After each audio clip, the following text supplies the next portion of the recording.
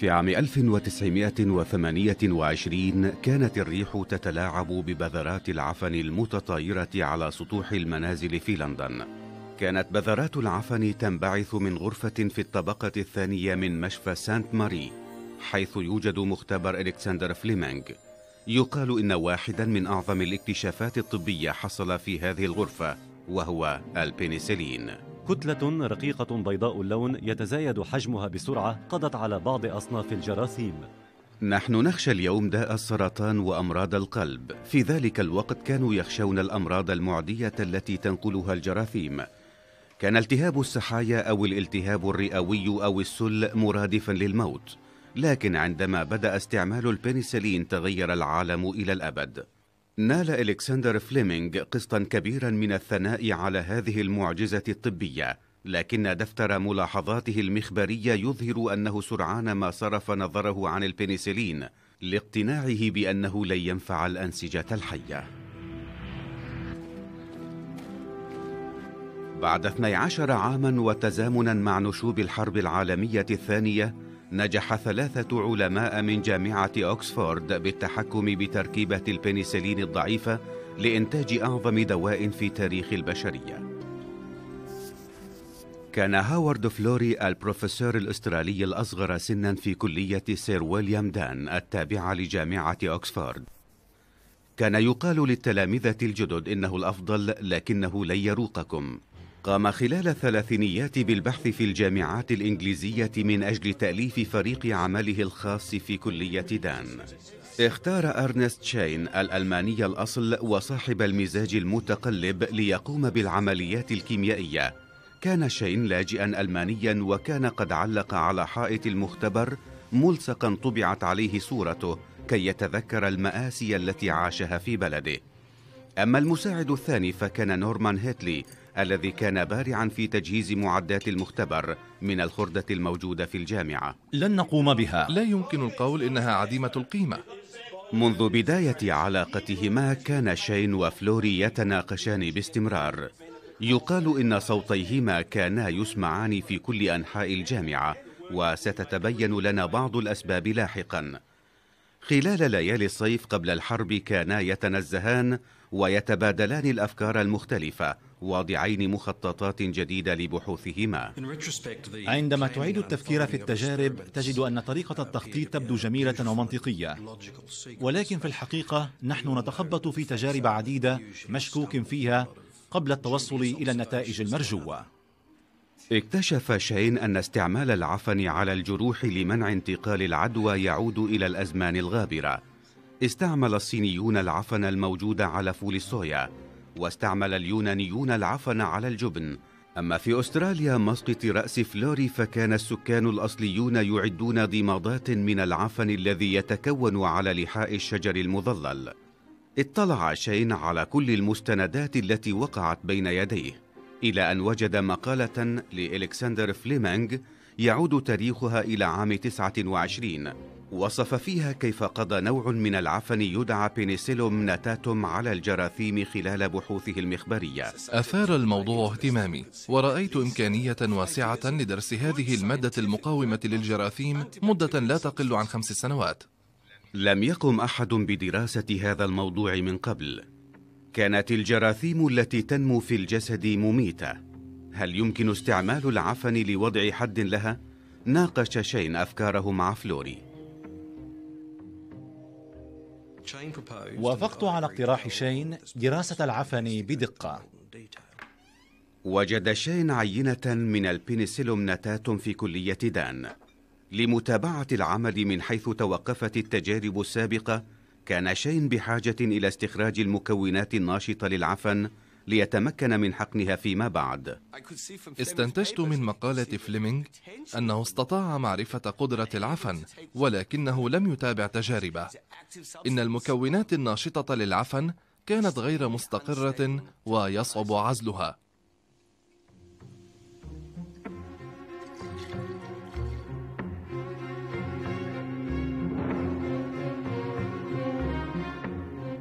من خلال موازنة نسبة الحموضة واستعمال مكعبات الثلج للحفاظ على برودة السائل تمكن شين من عزل المكونات الناشطة.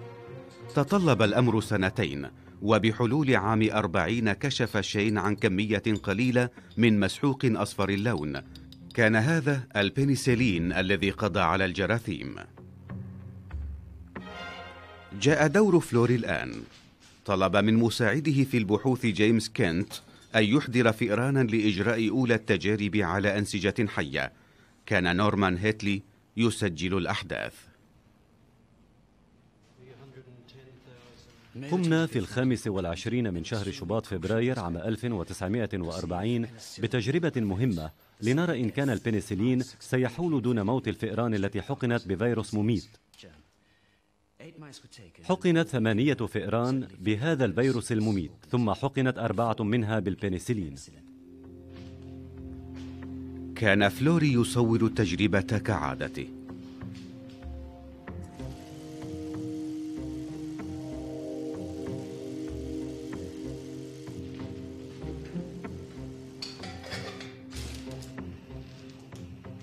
إذا بقيت الفئران على قيد الحياة فستصبح هذه الفئران الشاهد الأهم على أعظم إنجازات العلوم.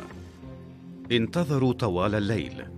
وكان يتم حقن البنسلين مرة كل ساعتين.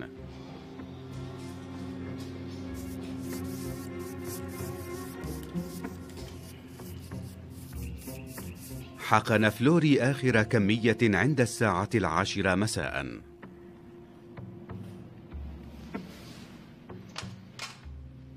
هنا إذاعة البي بي سي تدافع قوات الجيش البريطاني من محيط بلدة دونكيرك في فرنسا. ظل هيتلي مستيقظا طوال الليل للمراقبة. إن الفئران التي حقنت بالبنسلين لا تزال بحالة جيدة. أما بالنسبة إلى الفئران الأخرى فقد ترنحت واحدة منها لثوان معدودة ثم نفقت. كان هيتلي يراقب بحماسة بالغة. بعد ساعات معدودة نفقت الفئران التي لم تحقن بالبنسلين بينما بقيت الأربعة الأخرى حية وبحالة جيدة. غادرت المختبر عند الساعة الثالثة وخمس وأربعين دقيقة صباحا. عند بزوغ نهار الأحد نفقت الفئران الأربعة. يبدو أن للبنسلين تأثيرا مهما. بينما كانت الأجراس تعلن بداية نهار أحد جديد في أنحاء جامعة أوكسفورد استفاقت بريطانيا على أنباء جيدة تفيد عن نجاة نحو 300 ألف جندي بريطاني بعد خوضهم المعركة مع الجيش الألماني في دونكيرك. أما كلية دان فقد استفاقت على نبأ الحدث العلمي الذي سيكون له أهمية بالغة في المستقبل. نجت أربعة فئران بيضاء على الرغم من حقنها بفيروس مميت ويعود الفضل إلى حقنها ببودرة صفراء اللون. كانت الطبيبة مارغريت جينينغز أول من تلقى الأخبار الجيدة من فلوري. كانت جينينغز قد انضمت حديثا إلى الفريق للعمل على الجراثيم. ستنعكس علاقتهما السرية سلبا على أعضاء الفريق في كلية دان في المستقبل. كان الأمر بمثابة اكتشاف باب سحري للشفاء يفتح قليلا فقط إذ لم يكن لديهم كمية من البنسلين تكفي لإجراء التجارب على البشر. كان السؤال حول كيفية إيجاد مزيد منها. احتل هتلر بلجيكا وفرنسا وهولندا أما بريطانيا فكانت تستعد للمواجهة. كانت المعامل لبريطانيا تصنع المعدات الحربية على مدار الساعة. كان من المستحيل على فلوري إيجاد معمل مستعد لتصنيع البنسلين. كان الخيار الوحيد أن يحول أقسام الجامعة إلى أماكن سرية مخصصة لإعداد البنسلين. كان يجب عليهم استعمال كل بقعة دافئة ومتاحة في الكلية. كان العمل يتم على كل الجهات ولكن الكمية التي سنحصل عليها ستكون قليلة جدا. يجب أن تدع الفطريات تنمو على طبقة تبلغ سمكتها سنتيمترا واحدا ونصف سنتيمتر. نبقيها نحو عشرة أيام على درجة حرارة 24 درجة مئوية. يمكنك أن تتصور الأواني العديدة التي كنا بحاجة إليها لفعل ذلك. كنا نستعمل أي وعاء تقع يدنا عليه. كان يجب تعقيم الأواني لأن أي جرثومة قد تقضي على البنسلين.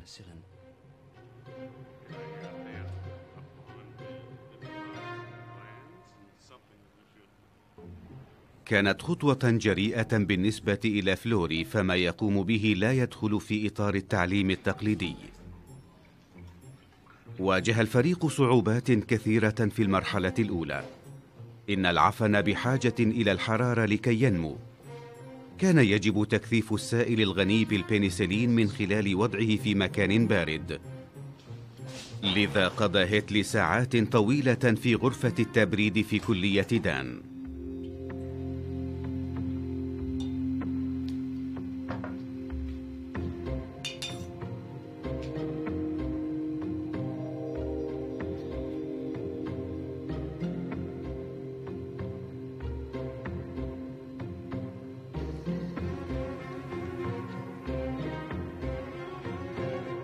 قام مدير مجلس البحوث العلمية إدوارد ميليمبي في الخامس من شهر حزيران يناير بزيارة مفاجئة. كان مجلس البحوث العلمية الممول الأساسي للبحوث العلمية في بريطانيا وكانت هذه فرصة لطلب التمويل من أجل معمل الفطريات. آثر فلوري التروي وقرر عدم إعطاء ميليمبي كل التفاصيل المتعلقة بالبنسلين قبل التوصل إلى نتائج ملموسة.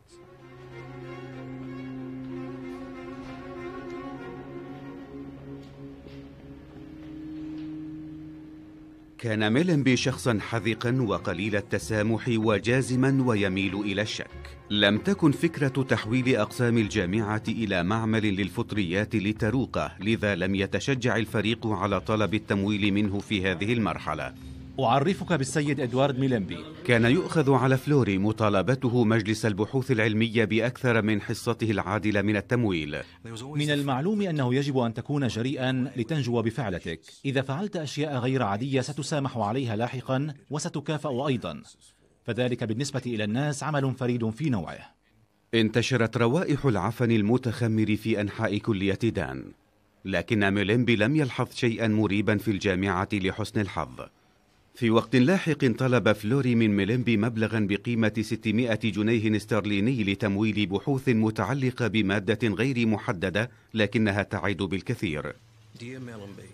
عزيزي ميلمبي أخبرتني ذلك اليوم بأنك قدمت كل الأموال التي كانت بحوزتك لتلبية متطلبات هذه الجامعة. يبدو أنني اكتسبت سمعة قاطع طرق أكاديمية. منحه ميلمبي 25 جنيها استرلينيا فقط هذه المرة متذرعا بالحرب القائمة. دخلت الحرب مرحلة قاتمة مع بداية الهجمات الجوية الخاطفة على لندن. قصفت لندن على مدى 57 ليلة متتالية. يعتمد بقاء أمتنا على نتائج هذه المعركة. كانت أكسفورد معرضة للقصف أيضاً. كانت التدريبات للاختباء في حال التعرض للقصف تقاطع العمل على البنسلين باستمرار. كان يجب وضع معدات المختبر جانبا والاستعاضة عنها بالمعول والمجرفة لحفر الملاجئ. أخرجت المواد الكيميائية السريعة الاشتعال التي كانت تستعمل في إعداد البنسلين من المختبر ووضعت بعيدا عن المبنى. دخلت الحرب مرحلة قاتمة. كان البروفيسور المتهكم بطبعه يقول ساخرا حسنا يحتمل أن تأتي المدرعات قريبا إلى هضبة هادينغتون. لذا من الأفضل أن نمسح أكمام وبطانات بدلاتنا ببعض العفن. إذا ساءت الأمور ونجا واحد منا فعلى الأقل سيمكنه استرداد الفطريات. كان فلوري محقا في خشيته من وقوع العفن بين أيدي العدو فقد تلقى طلبات عديدة يقف وراءها الألمان على الأرجح لبعث عينات من البنسلين إلى دولة سويسرا المحايدة. لن يحصل الألمان على شيء.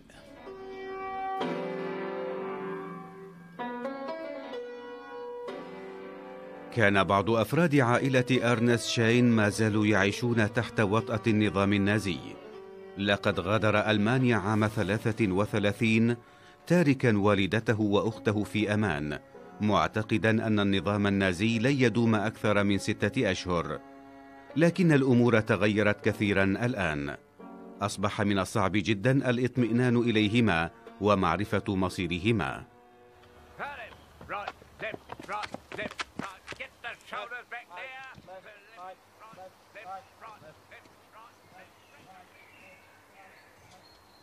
كان هاورد فلوري وزوجته إيثل قلقين على سلامة ولديهما. كانت العديد من عائلات أكسفورد تخطط لترحيل أولادها إلى كندا وأمريكا. نشأت علاقة بين هاورد وإيثل في أستراليا منذ أن كانا يافعين. تعرف الواحد إلى الآخر عندما كانا يدرسان الطب في جامعة إديلايد. كان فلوري يسبق إيثل بسنة وكانت المرأة الوحيدة في صفها لكن عندما وافته إلى بريطانيا بدأت المشاكل الزوجية. كانت إيثل قد بدأت تفقد سمعها وساءت علاقتها مع هاورد لكن حبهما لطفليهما حال دون التفكير في الطلاق. واصلا علاقتهما وكانا يتواصلان من خلال الرسائل الموضوعة على طاولة المطبخ. عزيزتي لدي بعض الاقتراحات قد تساعدك على إيجاد طرق أخرى للتعاطي مع تقلبات مزاجي. إذا ضاعفنا الجهد أعتقد أننا سنعيد الأمور إلى مجراها الطبيعي. بما أننا ندرك الآن بعض الأسباب التي أدت إلى المشاكل الحاصلة بيننا.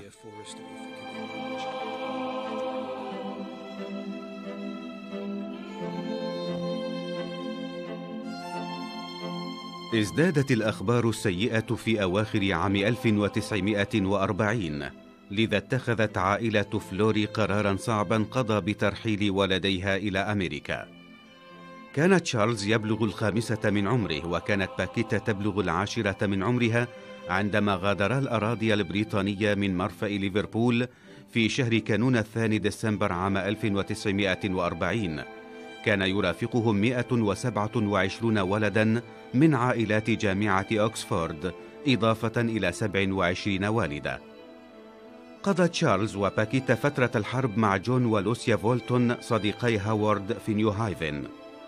أصيبت إيثل بالإحباط جراء رحيل ولديها ولكنها اغتنمت الفرصة لمتابعة مهنتها الطبية.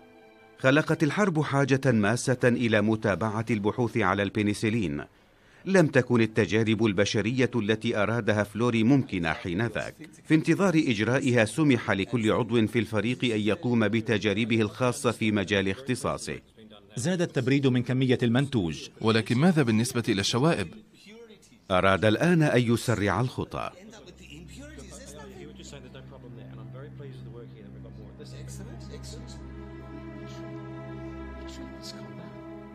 عندما اقترح هيتلي حلا أساسيا لمعضلة كيميائية اعتبر شين ذلك تعديا على صلاحياته في الفريق.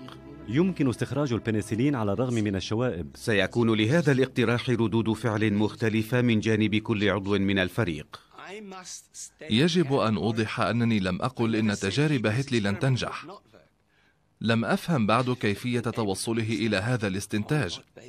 كل ما عنيته أن فكرته قد تكون جيدة ولكنها تتطلب عملا كيميائيا. ولقد سبق واتفقنا على أنني الوحيد المخول القيام بالأعمال الكيميائية. يجب أن تنفذ هذا الاقتراح. دعم فلوري اقتراح هتلي. أدركت شين أن لا فائدة من النقاش وقال لي على مضض حسنا إذا كنت تعتقد أن التجربة ستنجح فلما لا تجربها بنفسك؟ ستكون هذه أفضل وأسرع طريقة لتعلم أنك مخطئ. حسنا لا يهمني من اقترح الفكرة لأنها إذا نجحت ستضاعف كمية البنسلين وفي كل الأحوال سيسجل الاكتشاف باسم الثلاثة. كان هيتلي مصمما على إنجاح فكرته لكن المعدات التي كان يحتاج إليها لم تكن متوافرة بسبب الحرب إضافة إلى نقص في التمويل وغياب الأولوية. لذا كان عليه إثبات فكرته بما تيسر له إيجاده من معدات. كانت الفكرة تتألف من قسمين هما إعادة استخراج البنسلين المكثف بواسطة الماء وصنع آلة قادرة على تشغيل هذه العملية. إذا اشتغلت الآلة فسيمكنه مضاعفة كمية الإنتاج. كان فلوري قد استخدم هيتلي نظرا إلى مهارته التقنية ولكن لم يخطر في بال أحد أنه سيصمم آلة كيميائية فورية لاستخراج البنسلين من خلال المعدات القليلة المتوافرة. ستنفق شركات تصنيع الأدوية ملايين الجنيهات لكي تحاول بناء آلة مشابهة. استعمل هيتلي فيها مصباحا كهربائيا قديما عوض العوامة وأجزاء من سلك هاتف قديم عوض جهاز الإنذار.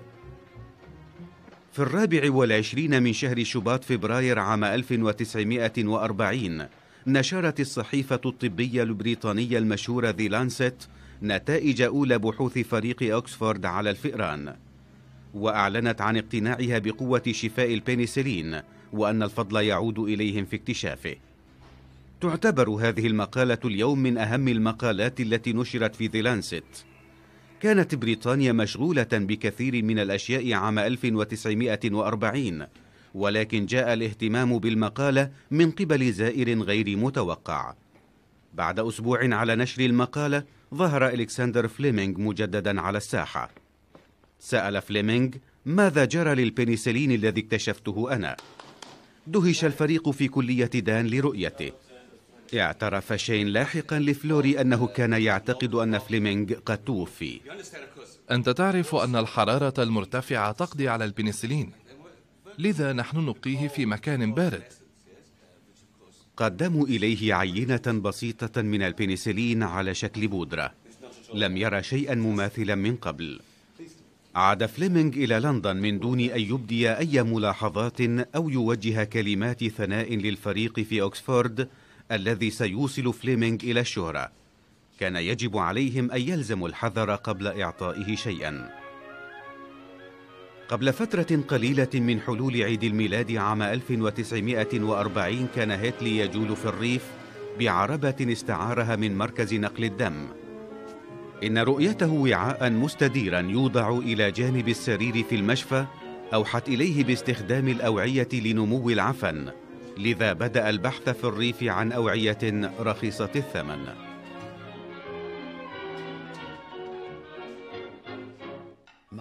أنا أحب الاختراعات. قد لا يكون لهذه الميزة أهمية كبيرة عند الباحثين لكنها كانت مفيدة جدا لنا. نظرا إلى ظروف الحرب والحرمان وصعوبة تأمين المواد اللازمة. كنت أتمنى لو كانت قاعدة الوعاء أوسع.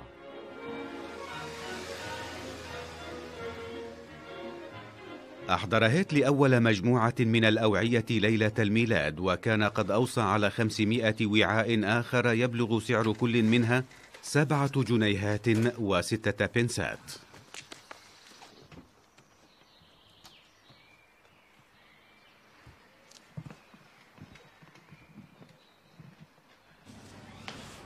هيتلي مرحبا.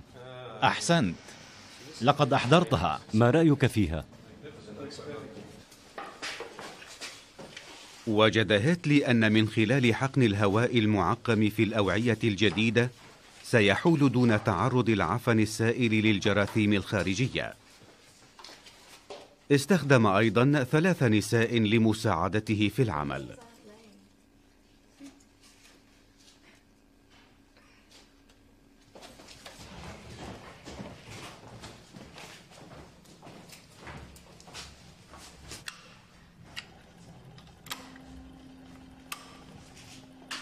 بحلول عام 41 أصبحت آلة الاستخراج التي اخترعها هيتلي جاهزة. إن الآلة قادرة على استيعاب 12 لترا من العفن خلال ساعة واحدة. لم تزد كمية إنتاج البنسلين المستخرج فحسب بل كانت النوعية أفضل بعشر مرات منها في التجارب السابقة.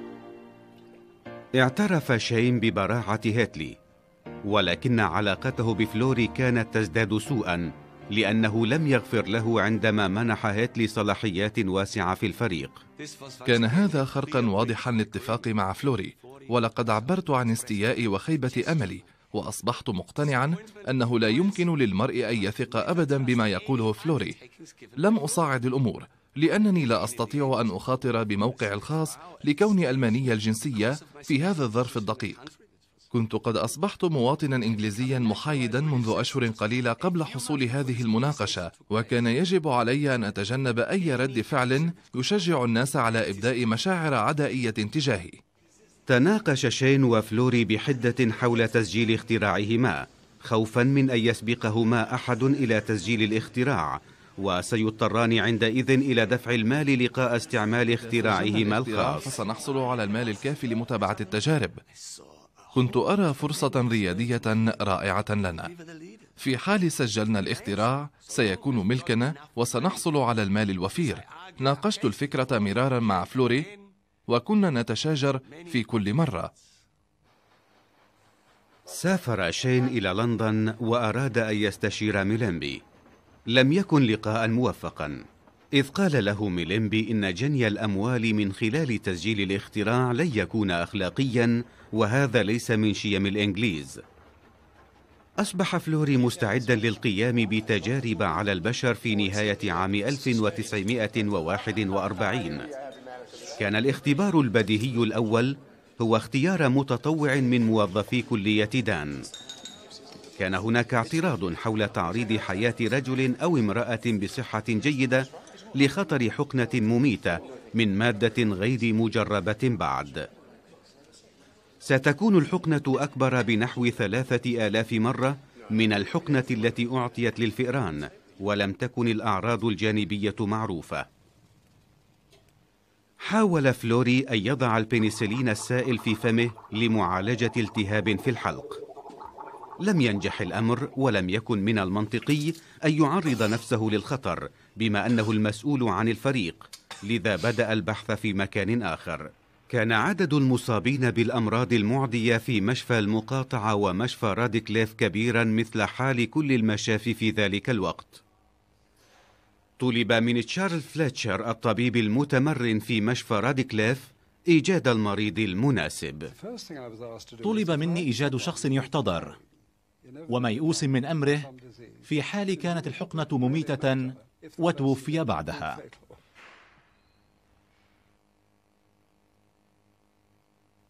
وقع الاختيار على ألبرت ألكسندر شرطي المقاطعة رقم 231 والذي يبلغ الثلاثة والأربعين من العمر. أصيب الشرطي ألبرت ألكسندر خلال غارة جوية ألمانية على برمنغهام. كانت الجراثيم تنهش كل أنحاء جسده فشلت عمليات نقل الدم المتعددة. توقع الأطباء أنه لن يعيش أكثر من 48 ساعة. لم يكن ممكنا تحديد كمية البنسلين التي يجب استعمالها لعلاجه. كانت مجازفة لا بد من القيام بها ولكنهم وجدوا حلا لهذه المشكلة. كانوا قادرين على استخراج البنسلين من البول بعد مروره في الجسد. لذا جهزوا عددا من الدراجات لكي يتم نقل بول ألكسندر مجددا إلى كلية دان. أطلق أحدهم تسمية دورية البول على هذه العملية. بدأوا العلاج بكمية صغيرة من البودرة. كان علاجا جديدا إلى حد أن إحدى الممرضات أخطأت في كتابة كلمة بنسلين. في الثاني عشر من شباط فبراير عام 1941 بدأنا حقن البنسلين بمعدل 200 ملغرام في الحقنة الواحدة. انخفضت حرارة إلكسندر من 39 ونصف إلى معدلها الطبيعي خلال 12 ساعة وتوقفت الالتهابات الناتجة عن الجراثيم. ولكن ما هي الكمية المطلوبة من البنسلين التي يجب استعمالها لوقف الجراثيم كليا؟ في الثالث عشر من شباط فبراير خفت الالتهابات في منطقة الرأس وتحسنت رؤية العين اليمنى.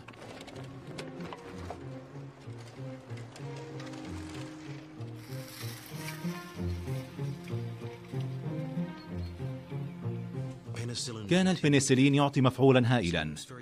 يبدو المريض مرتاحا ويقول إنه يتحسن.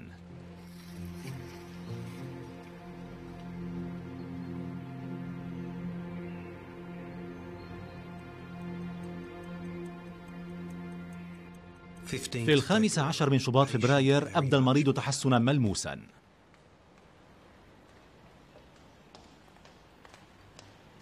تناوب الفريق على نقل البول. كانت إثل تتمرن في رادكليف وكانت تنال حصتها من المناوبة. في نهاية اليوم الثالث أصبح الاعتماد كليا على البنسلين المستخرج من البول. كانت كمية البول تتضاءل تدريجا لكن لم يكن هناك من بديل لهذه الطريقة. سجل فلوري ملاحظة نهائية متشائمة في دفتر ملاحظاته. في الخامس عشر من شباط فبراير بدأت حالة المريض تسوء وتوفي هذا الصباح.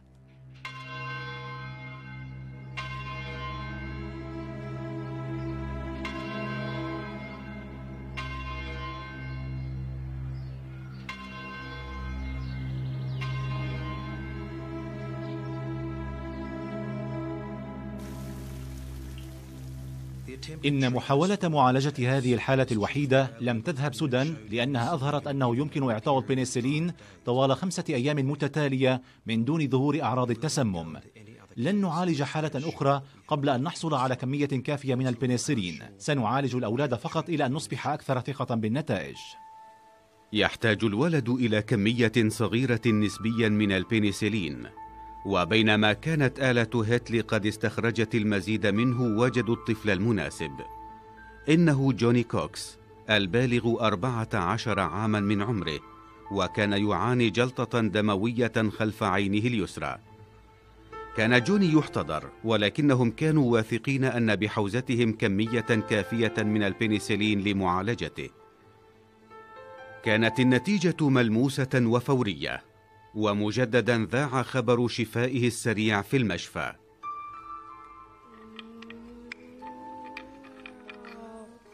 الاثنين في الثاني والعشرين أصبح جسمه شبه خال من الجراثيم وتوقف علاج البنسلين.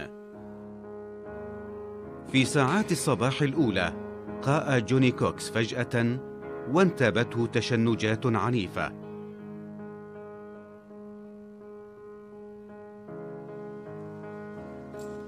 ارتفعت حرارته وتوفي بعد أربعة أيام هل قضى عليه البنسلين؟ أقنع فلوري والدي جون بأن يسمحا بإجراء عملية تشريح أظهر التشريح أن البنسلين نجح في القضاء على الجراثيم في كل أنحاء الجسم ولكنه لم يحل دون انفجار شريان حيوي من جراء الجراثيم التي فتكت به قبل العلاج. ومع جريان الدم في عروقه من جديد لم يتمكن هذا الشريان من المقاومة فانفجر. تبين أن البنسلين لم يكن مسؤولا عن الوفاة. تمت معالجة خمسة مرضى آخرين في رادكليف ولكن وفاة ألكسندر وجوني كوكس حالت دون إجراء التجارب التي كان يريدها فلوري. لم يعد معمل الفطريات وآلة هيتلي قادرين على إنتاج مزيد من البنسلين. وجب البحث عن ممولين للاستمرار في إنتاج البنسلين لذا طلب فلوري النصيحة من السيد إدوارد ميلينبي اتفق الاثنان على فكرة سفر هاتلي برفقة فلوري إلى أمريكا. كان شين يعتقد أن له الأولوية في السفر عوضا عن هاتلي ولكنه بقي في أكسفورد للإشراف على المختبر. استاء شين مجددا من فلوري. في صباح السابع والعشرين من حزيران يونيو عام 1941 سافر الزميلان بطائرة دنماركية ستقلهم إلى أمريكا مرورا بلشبونة.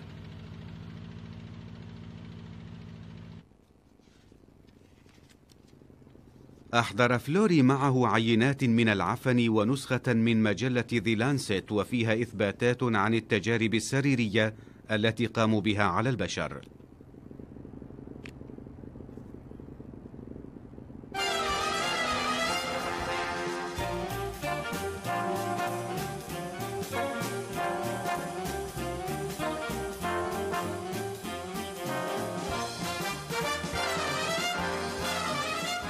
قاد فلوري وهيتلي أربعة أشهر في زيارة شركات الأدوية وعدد من المسؤولين الحكوميين الرفيع المستوى.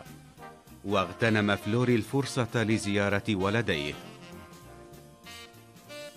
إنهما بخير مع أن تشارلز تعافى لتوه من مرض الجدري كان يلهو طوال النهار. إن لوسيا تعتني جيدا بالولدين. أما باركيتا فهي تستمتع بوقتها في المخيم. على الرغم من المشاكل الزوجية شجع فلوري زوجته إيثل على العمل معه في بحوثه على البنسلين. عندما كان لا يزال مسافرا كانت تستعمل ما تبقى من البنسلين لمعرفة تأثيره في الحروق.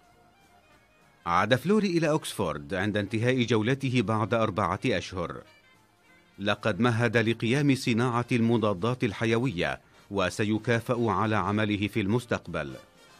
وافق فلوري أن يبقى هيتلي في أمريكا لإطلاع العلماء هناك على ماهية وأسرار عملهم في أكسفورد.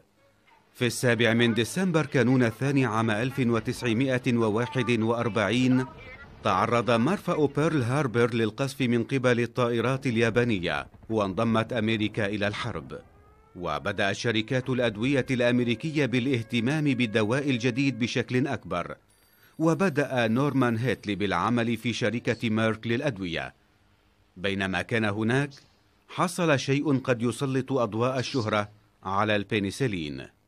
تبلغ آم ميلر الثلاثين من عمرها وهي أم لثلاثة أطفال بينما كانت ترضع طفلها الصغير الذي كان يعاني التهابا في الحلق انتقلت إليها العدوى وبدأت تحتضر بعد أسابيع. سمع طبيبها بالصدفة عن إنجازات فريق أكسفورد واعتقد أن البنسلين قد يمنحها أملا أخيرا. كان معي خمسة جرامات ونصف الجرام من البنسلين أي نصف الكمية التي أحضرناها إلى أمريكا. كان قابلا للذوبان. هذا كل ما قيل لي. إضافة إلى أنه يجب علي أن أتناوله باستمرار. كان يتم إعطاء حقنة مرة كل أربع ساعات وبعد مرور 12 ساعة أستطيع القول بصراحة إن حرارتي عادت إلى معدلها الطبيعي. لكنني شممت رائحة غريبة. شممت رائحة الخردل الإنجليزي كان طبيب السيدة ميلر رجلا لطيفا ومتواضعا يدعى بامستد عندما بدأت آن أخذ البنسلين كان يتصل بي كل يوم لإبلاغي عن حالتها وعن حرارتها ويقول لي ماذا تقترح أن نفعل؟ هل نكمل علاج البنسلين؟ كنت أجيبه في كل مرة أيها الطبيب أنا لست مؤهلا لممارسة الطب ولا أستطيع أن أقترح أي علاج ثم كان يقول حسنا ماذا سيكون رأي البروفيسور إذن؟ كنت أجيبه حسنا كان سيقول لك تابع العلاج فأنت لا تستطيع التوقف الآن على أي حال. رن الهاتف نحو الساعة الرابعة صباحا. من كان يعرف جاك بامستد يعلم أنه شخص لطيف وصوته ينم عن سعة صدره. رفعت السماعة وقلت نعم يا جاك. لم يقل شيئا في البدء ثم قال تستطيع أن ترتاح قليلا الآن ولكن يجب أن نتابع الصلاة. لأن حرارة آن تبدو طبيعية ومستقرة. لا يزال متحف سميتسونيون في واشنطن يحتفظ بنسخة من الجدول الذي يظهر معدل انخفاض حرارة أم ميلر في تلك الليلة. يظهر الجدول انخفاضا في درجات الحرارة والتي بلغت أربعين درجة مئوية وذلك من الساعة الثالثة حين عادت حرارتها طبيعية عند الساعة التاسعة صباحا. إن شفاء آن ميلر السريع قدم دفعة قوية وتشجيعية لزيادة إنتاج البنسلين بعد إنهاء عمله عاد هيتلي إلى أكسفورد في تموز يوليو عام 1942 بعد أسبوعين تلقى فلوري اتصالا من إلكسندر فليمنج طالبا منه عينة من البنسلين لمعالجة مريض مقرب إليه. وافق فلوري على إعطائه كل ما تبقى من البنسلين. كان عملا كريما ولكنه كان متسرعا وهو أمر سيندم عليه لاحقا. في الواحد والثلاثين من شهر آب أغسطس عام واحد وأربعين نشرت مقالة في مجلة التايمز تتناول دواء عجيبا وجديدا يدعى البنسلين. في اليوم التالي وصلت إلى مكاتب التايمز رسالة من مدير مشفى سانت ماري السيد آلمروث رايت أيها السادة الكرام في مقالتكم الافتتاحية عن البنسلين التي نشرت البارحة لم تنسب اكتشاف البنسلين إلى أحد. يجب أن ينسب إلى السيد ألكسندر فليمينغ الذي اكتشفه في مختبره هنا. إنه مكتشف البنسلين وهو أيضا كاتب المقالة الأولى عن قدرة شفاء البنسلين. أثار الإعلام ضجة واسعة حول فليمينغ ومشفى سانت ماري. بعد حالة الشفاء في مشفى سانت ماري في لندن وصف العلاج الجديد بالسحري وهو يقضي على كل الجراثيم داخل الجسد ويعود الفضل في اكتشافه إلى الطبيب ألكسندر فليمينغ أعلنت حالة الشفاء سابقة عالمية من قبل إدارة المشفى والطبيب فليمينغ كانت حالة المريض ميؤوسا منها إلى استنكر فريق جامعة أكسفورد حملة إشهار الدواء التي يقوم بها مشفى سانت ماري والتي لم تذكر شيئا عن عملهم. منع الصحفيون القلائل الذين قصدوا كلية دام من دخولها. لم تكن تلك الخطوات التي اتخذها فلوري تصب في مصلحة فريق أكسفورد. كان هناك سبب وجيه لإبعاد الصحفيين وليس لمجرد كرهه للإعلام. كان البروفيسور يقول لي دائما إنه يخشى أن يعرقل عملنا شيء ما وإنه من الخطأ أن نقول عن هذا الدواء إنه سحري إنه لا يشفي كل الأمراض ولا يصح إعطاء أمل كاذب للمصابين ولعائلاتهم أو أن نقول لهم إن هناك علاجا لكن الكمية غير كافية. عندما نشرت بحوثهم تلقوا فيضا من الرسائل من أشخاص ذوي حالات سيئة. عزيزي الطبيب لقد قرأت عنك وعن عملك واكتشافك الجديد البنسلين. أكتب إليك الآن وأنا ما زلت قادرا على الكتابة لأسألك أن تمنحني فرصة تجربته. لا أعلم إن كان البنسلين سينفعك في حالتك هذه. طلب فلوري من مارغريت جينينجز أن تلطف الأسلوب الذي كان يعتمده في كتابة الرد على مثل هذه الرسائل. كتب إلى ميلينبي مطالبا إياه بالتدخل الرسمي لتصحيح الحملة الدعائية التي كان يقوم بها مستشفى سانت ماري المروج لفليمينغ والمجحف بحق فريق أوكسفورد. طلب منه التغاضي عن الأمر لأن دائرة البحوث الطبية البريطانية تعلم أن فريق أكسفورد هو من قام بالعمل الحقيقي. كانت بذرات العفن تتطاير من هذه النافذة في مشفى وكلية سانت ماري الطبية في شاعت الخرافات حول عمل فليمينغ ومشفى سانت ماري سيكون من المستحيل تكذيبها لسنوات عديدة. تبين أن قصة تطاير بقع العفن من النافذة غير صحيحة أيضا. في الواقع كانت بقع العفن تتطاير من تحت السلالم حيث كان ثلاثة علماء آخرين يعملون على بقع العفن. اعترف السيد بيفر بروك مؤسس مجلة إكسبريس أنه هو من نسب كل شيء إلى فليمينغ.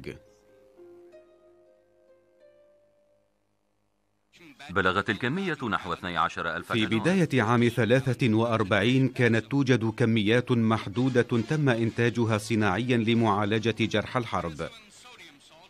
اختار الجيش البريطاني فلوري للسفر إلى مناطق القتال في الشرق الأوسط لإجراء التجارب على جرح الحرب.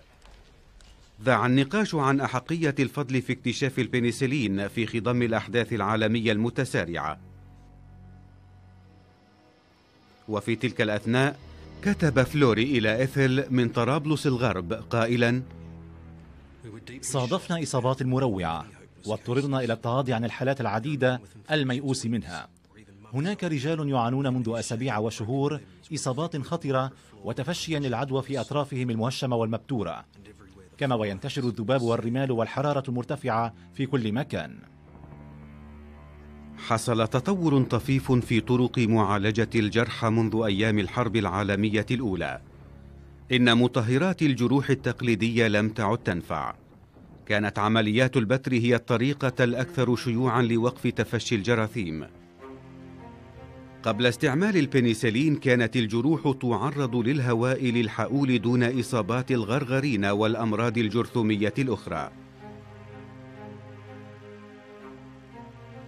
كانت التقنيات التي تمت تحت إشراف فلوري عام 43 جذرية. إن تقطيب الجرح ثم حقن البنسلين بواسطة القسطرة أو الأنبوب المطاطي أثار حنق الأطباء العسكريين. لكن هذه التقنية أثبتت نجاحها. إن المصابين الذين كانوا معرضين للموت من جراء إصابتهم تمكنوا من السير مجددا بعد عملية التقطيب. بعد عودة فلوري من الشرق الأوسط انتشرت أخبار تقنيته الجديدة وكيفية معالجته جرح الحرب ما خلق اهتماما واسعا بالدواء الجديد. لقد قمت بالتقطيب هنا. كان يعرض أفلامه التي صورها أمام جمهور واسع في الجمعية الملكية. تحقن مقدارا قليلا من البنسلين في الجرح مباشرة بواسطة القسطرة. كان فلوري مشهورا في مجال البحوث الطبية قبل البنسلين ساهم الفيلم الذي كان يعرضه في الجمعية الملكية في وضعه على واجهة البحوث المتعلقة بالبنسلين أيضا. في الجرح مباشرة بواسطة القسطرة. لعب البنسلين بفضل بحوث فريق أكسفورد والعلماء البريطانيين والأمريكيين الآخرين دورا مهما في معالجة الجرحى خلال يوم الإنزال المشهور في النورماندي. قدر عدد المصابين الذين عولجوا بالبنسلين قبل نهاية الحرب بنحو 300 ألف جندي. احتل البنسلين الأولوية في الإنتاج من الناحية العسكرية في المعامل الأمريكية وكان يأتي بعد القنبلة الذرية طبعا من ناحية الأهمية. قدر الإنتاج بمليارات الوحدات. حان وقت عودة كلية دان إلى سابق عهدها. أي لتعود مختبرا للبحوث ومعهدا للتدريس.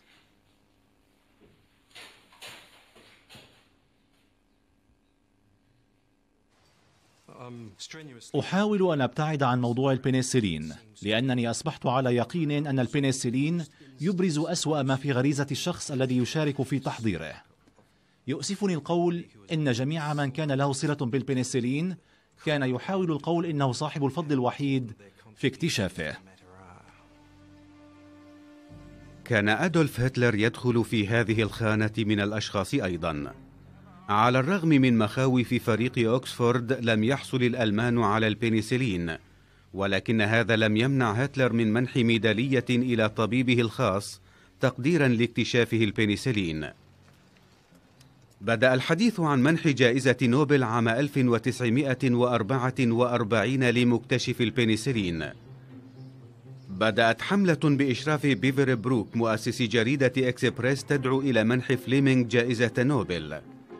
قام أصدقاء فلوري بقيادة جون فولتون بتشجيع فريق أكسفورد. وبينما اجتمعت لجنة جائزة نوبل كان فليمنج يجول في أمريكا حيث ذهب لمقابلة آن ميلر. قال للصحفيين بفخر إنها أغلى مريضة عندي.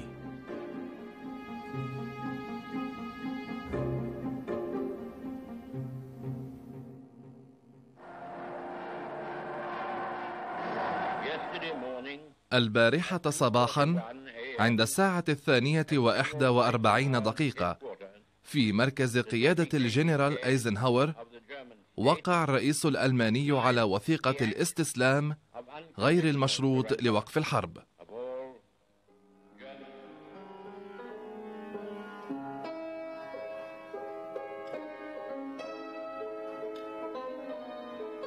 تلقى شين عام 46 نبأ وفاة والدته وأخته خلال الحرب. لم تتحسن العلاقة بين فلوري وشين لسوء الحظ وغادر شين كلية دان عام 49 لإدارة معهد واسع للبحوث في إيطاليا. راسله فلوري قائلا نتمنى لك النجاح وأتمنى فقط ألا تخيب صعوبة إدارة البحوث آمالك بسرعة.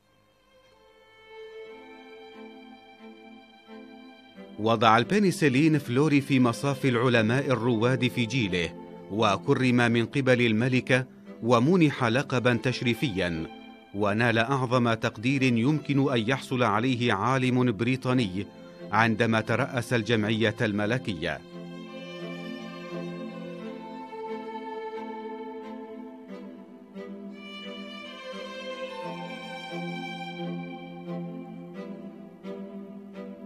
توفيت إثل فلوري في أيلول سبتمبر عام 66 قبل وفاتها قامت مع هاورد بنشر كتاب مفصل للتجارب التي أجريت على 187 شخصا. إن مكانها لا يزال محفوظا في تاريخ الطب.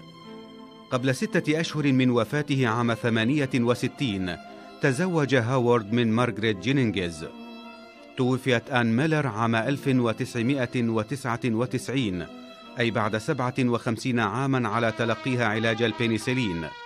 لكن من نال جائزة نوبل؟